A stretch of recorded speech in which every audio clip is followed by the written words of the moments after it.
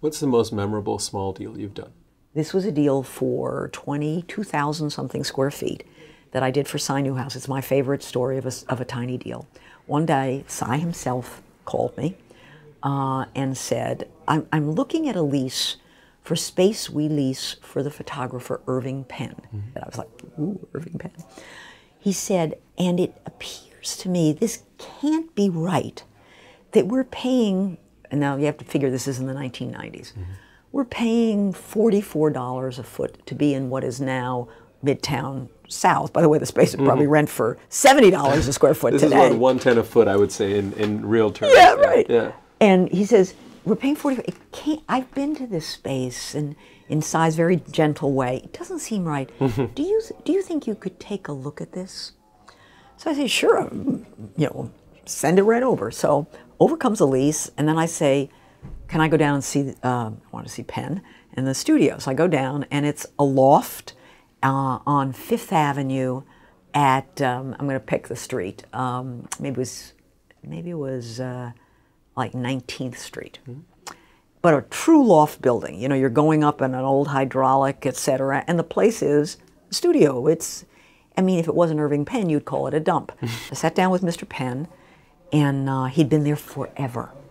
And I sat down with him and his office manager, and I said, "Mr. Newhouse asked me to come and see you," and he said, "I want to be respectful of Cy. They, uh, he was uh, it was under contract to him. Uh, you know, Condé Nast paid his bills, uh, etc." So I said, you know, this is ridiculous. We need to go out and look at space. And he said, um, my wife just died. He said, I don't think I could stand to lose, lose this space. So I said, oh.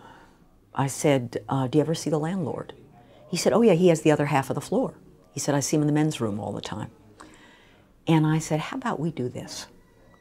How about if you tell, and I, I had done homework obviously on who the landlord was, he was an elderly um, guy who I knew in a heartbeat would not take well to a woman broker showing up and doing anything.